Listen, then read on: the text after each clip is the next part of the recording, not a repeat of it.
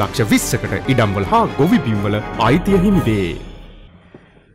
මන්ත්‍රතුමනි අද සාකච්ඡාවට ගන්න විශේෂ අමාන්තයන්ත ගණනාවක් මේ රටේ ජනතාවට බද්ධ වෙලා තියෙන අඩුපාඩුකම් අගහිකම් දැනෙන අමාත්‍යංශ ගණනාවක් නාගරික නිවාස ප්‍රවාණ හා මාමාර්ග අමාත්‍යංශ. විවාදයට එකතු වෙන ලැබීම පිළිබඳව සතුටු වෙනවා. මුලසුනේ මන්ත්‍රීතුමනි විශේෂයෙන්ම සමහරු මේ නිවාස අමාත්‍යංශයේ කරපු බොහෝ දේවල් පිළිබඳව කියන්නට උත්සාහ කරලා අවසානයේ එතුමා මේ රටේ විශේෂ හිටපු සජිත් ප්‍රේමදාස මැතිතුමා නිවාස ඇමතිවරයා හැටියට මේ රටේ මහා ලොකුම මංකොල්ලේ කර පුද්ගලයා කියන කාරණේ කියන්න උත්සාහයන් ගන්නවා. හැබැයි ඒක රට දන්නවා කවුද හොරු කවුද පරාණකාවේ කියන කාරණේ. අපි දන්නවා නිවාස අමාත්‍යාංශයේ සජිත් ප්‍රේමදාස මැතිතුමා වැඩ කරන කාලේ මෙයට ගෙවල් නැති මිනිස්සුන්ට ඉසට වහලක් නැති ඒ ජනතාවට ඒ වගේම බෞද්ධ පන්සල්වලට කෝවිල්වලට ඒ වගේම මුස්ලිම් පල්ලිවලට ඇතුළු සෑම පැතිකඩයකටම තමන්ගේ දේශපාලන වගකීම ඉශිෂිදාන කටයුතු කරා කියන කාරණය අපි දන්න. එනිසා තමයි එතුමා ඒ නියෝජනය කරපු ආණ්ඩුවෙන්ම ගැන එතුමා යහපාල ආණ්ඩුවේ නිවාස ඇමතිවරය හැටියට කටයුතු කරනටම එතුමාගේ ආණ්ඩුවේම ජනාධිපතිවර අගමැතිවර ඇතුමට ජනාධිපති විමාශන කමිෂන් එකක් දාන්නේ කරු සභාවට. මේක දාන්නේ කොටාබේ රාජපක්ෂ මහත්තයා පත් වෙලා නෙවෙයි. ඉතින් මේක දාන්නේ යහපාල ආණ්ඩුව විසින්. ඒක රනිල් වික්‍රමසිංහ මහත්තයා විසින්ම තමයි සජිත් ප්‍රේමදාස මැතිතුමාගේ ඒ අමාත්‍යංශය තුල තියෙන වැරදි හොයන්න දාන්න. එහෙම කියනකොට දන්නව ඇයි එහෙම දැම්මේ කියලා. ඒ නායකත්වයේ පිළිබඳව ප්‍රශ්න තිබෙනවා, ජනප්‍රිය වෙනවා, රටේ බලයට එන බව ඔහු දන්නවා. ඒ බලයට මේ ව්‍යාප්තිය පටන් ගන්නේ වෙන පොදු ජන පෙරමුණෙන් නෙවෙයි. ජනතා විමුක්ති පෙරමුණෙන් නෙවෙයි ගරු සභාපතිතුමනි. එක්සත් ජාතික පක්ෂය තුලින්ම අද වගේම එදත් සජිත් ප්‍රේමදාස අපේ නායකතුමාට විරුද්ධතාවයේ තිබුණා. නිසා ඔබතුමා විශේෂම කතාව කිව්වා එතුමා ජනාධිපති කමිෂන් සභාවේ එතුමා වැරදිකාරය වෙලයි කියලා. ඒක බොරුවක්. ඒක බොරුවක්. ඒක ඔබතුමා දන්නවා මමත් කෝප් එකකට යනවා.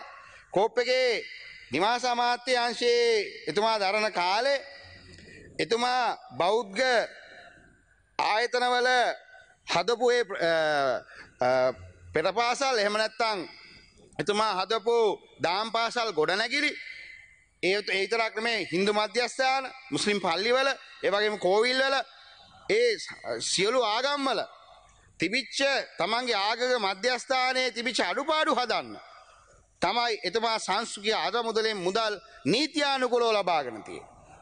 ඔබතුමා කියනවා වගේ ඔය කියන ජනාධිපති කමිෂන් එකේ නම් කරනවා නම් කරන්න ඕනේ ඒකේ අධ්‍යක්ෂක මණ්ඩලයේ ගරු සභා ගරු සභාපතිතුමනි. ඒක අධ්‍යක්ෂක මණ්ඩලය තමයි තීන්දුව කරන්නේ. මේකට මුදල් ලබා දෙනවද?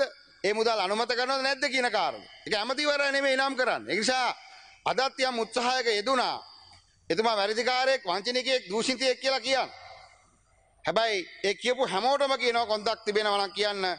දැන් මේ වෙලාවේ මේ මොහොතේ ශේෂාධිකරණයෙන් ඔප්පු වෙලා තියෙනවා මේකට බංකොලොත් කළා විනාශ කළා මහපාර රටේ ජනතාව ඇදලා දැම උද්දේ කවුද කියලා. ඒ වගේ මේ අමාත්‍යාංශයේ ඇමතිතුමා රාජ්‍ය ඇමතිතුමා කියනවා අපිට සල්ලි නැහැ ණය බංකොලොත් වෙලා රට විනාශ වෙලා තියෙනවායි කියලා. එහෙනම් ඔබතුමාලටත් ඒක කියන්න ඕනේ ඇයි රට බංකොලොත් කරේ කවුද? රට විනාශ කරේ කවුද? ඒ විනාශයට හේතු වෙච්ච උදවියම අද ශේෂාධිකරණයෙන් තීන්දුවක් දීලා තියෙනවා. ගෝඨාභය රාජපක්ෂ මහින්ද රාජපක්ෂ බැසිල් රාජපක්ෂ හිටපු මහා බැංකු අධිපතිවරයෝ කියන කාරණේ. අන්න නීතියෙන් ඔප්පු වෙලා තියෙනවා. නීතියෙන් පිළියරන් තියෙනවා. මේ රටේ අද මහා මාර්ග ඇමතුමා සල්ලි නැහැ පාරවල් හදන්න වෙන්නේ නැහැ කියන රට බංගලොත් ඉච්ච නිසා කියන කාරණා. නිවාස ඇමතුමා නාගසංගල ඇමතුමා කියන අපේ සංවර්ධනයට යන්න බෑ මුදල් නැහැ. ඒ සියලු දේට හේතු වෙලා තියෙන රට බංගලොත් ඉච්ච නිසායි කියන රට ආර්ථික වශයෙන් වැටුණු නිසායි කියන කාරණා. ඒක ඔප්පු කරලා තියෙන උසාවිය කවුද කරේ කියන එක කාරණා. ඉතින් සජිත් ප්‍රේමදාස මහත්තයා මේ රටේ ජනතාවගේ සල්ලි අරන් ගිහලා තමන්ගේ තාත්තගේ අම්මගේ සෝන හැදුවේ නැහැ. සෝන හැදුවේ නැහැ කරු සභාපති අපි දැක්ක නාගරික සංග්‍රහ අධිකාරිය ඒ කාලේ. මත මුලනේ තිබිච්ච සමහර අම්මගේ තාත්තගේ ඒ මැරිච්ච සොහන පවා රාජ්‍ය ජනතාවගේ බදු සල්ලි වලින් හදලා නැවත ගෙවන්න කටයුතු කරා. ඒව කතා කරන්න තමුන්නාන්සලා. ගෙව්වා ගෙව්වා. ගරු ගරු- ගරුව ගරු- ගරුවන්ට ගෙව්වා. මේක ගෙවන්න සිද්ධ වනේ මොකද? කරු සමල්ලමතුමා ඒක ඒක ඔබතුමාලට අවසරයක් ගන්න බැරි වුණා ඔබතුමාලා නැවත එක පස්සේ අවසරයක් ගත්තා. ඒ අවසරය කිව්වා. හැබැයි ඒක ඒක ඒක විගණනට ලක් වුණා කරු හිටපු ඇමතුමා. ඒක අපි කියන්නේ. ඔබතුමා ඔබතුමා ඔබතුමා කේන්ති ගන්න එපා සමහර മന്ത്രിවරුවද. ඇවිල්ලා කියන්නේ සජිත් ප්‍රේමදාස මහත්තයා තමයි මේ රටේ මේ මහා දවන්ත වංචාවට වග කියන්න ඕනේ කියන කාරණේ. ඇයි එතුමාට බයයි?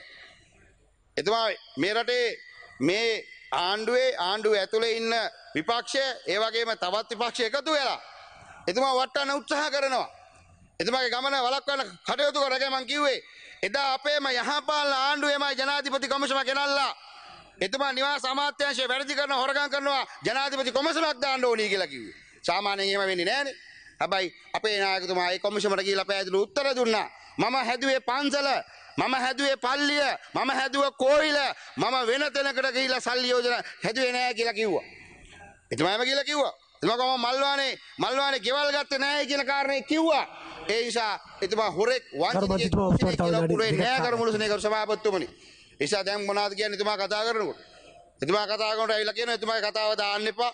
එතුමාට කතා කරන්න දෙන්න එපා. එතුමා කතාව ටෙලිකාස්ට් කරන්න එපා. ඒව තමයි දැන් කියන්නේ. එහෙනම් දැන් සජිත් බීතිකාව හැදිලා තියෙන්නේ.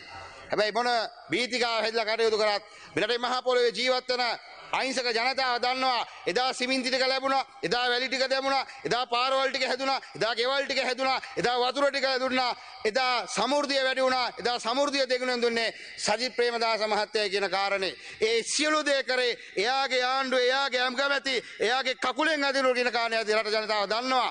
එහෙම යාට බලපෑම් තියෙද්දි මේ රට හදන්න අහිංසක මිනිස්සුන්ට වැඩ කරා නම් ගරු මුළුසනේ මන්ත්‍රීතුමනි එතුමා මේ රටේ ජනාධිපති වුණොත් මේ රටේ අහිංසක මිනිස්සුන්ට මේ රට හදන්න පුළුවන් වැඩ පිළිවෙල හදනවා විතරක් නෙමෙයි. එතුමා ඔප්පු කරා විපක්ෂයේ ඉඳලා ෆයිල් හදාගෙන ෆයිල් පෙන්න පෙන්න හොරු බය කරන්නේ නැතුව විපක්ෂයේ ඉඳලා උසාවියට ගිහලා නඩු දාලා ශේෂ්ඨාධිකරණයෙන් තීන්දුවක් අරගත්තා. මෙන්න මේ අහවලට විරුද්ධව දඬුවම් දෙන්න කියන කාරණේ කරු මුළුසනේ මන්ත්‍රීතුමා නිසා අපි කියනවා. අද නිවාස ඇමතිතුමනි ඔබතුමාගේ අමාත්‍යංශය මීට වඩා හොඳින් කරගෙන යන්න ඕනි නම් ඔබතුමා උදේ ගහගත්තට හවසර කියලා සජිත් ප්‍රේමදාස මහත්තයා අහගන්න කොහොමද ඔකේ වැඩ කරන්න කියලා. ඔබතුමාටත් පුළුවන් නැවත වතාවක්. ජේෂ්ඨ ඇමතිවරයෙක් හැටියට මන්ත්‍රීවරයෙක් හැටියට මේ පාර්ලිමේන්තුවේ ඒ නිසා එතුමාට මඩ ගහන්න යන්න එපා. එතුමා හොරෙක් කියන්න යන්න එපා. එතුමා මොනාද කරේ නැත්තේ මොනාද කරන්න පුළුවන් කියලා මේ රටේ සමස්ත ජනතාව අද තේරුම් අරගෙන ඉන්නවා කියන කාරණය මතක් කරමින් අවස්ථාව ලබා දීමට ස්තුතිවන්ත වෙමින් අතව විනාඩියක් දෙන්න ගරු සභාපතිතුමනි විශේෂයෙන්ම මහා මාර්ග අමාත්‍යාංශය ගත්තොත් අද තව විනාඩියක් තියෙනවා අද බරපතල අරුබුදයක තිබෙනවා. මේ හේතුව තමයි කරු සභාපත්තුමනි දැම් තේරුම් අරගෙන නෑ තාමත් මූලික වශයෙන් මුල්තැන දිය යුත්තේ කුමන මාර්ගවලටද කියන කාරණේ.